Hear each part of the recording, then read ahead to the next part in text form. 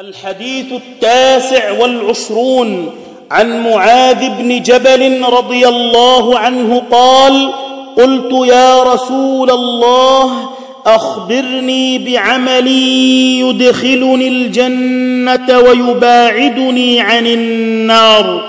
قال لقد سألت عن عظيم وإنه ليسير على من يسره الله تعالى عليه.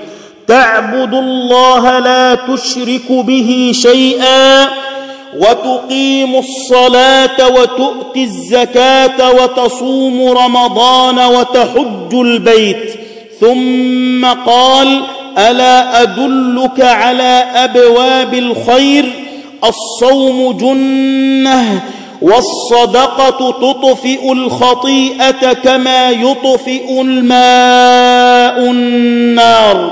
وصلاة الرجل في جوف الليل ثم تلا تتجافى جنوبهم عن المضاجع يدعون ربهم خوفا وطمعا ومما رزقناهم ينفقون.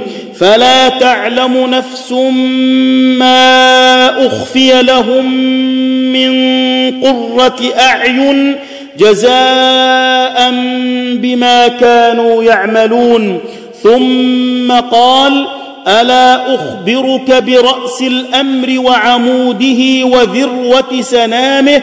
قلت بلى يا رسول الله. قال رأس الأمر الإسلام وعموده الصلاة وذروة سنامه الجهاد. ثم قال ألا أخبرك بملاك ذلك كله؟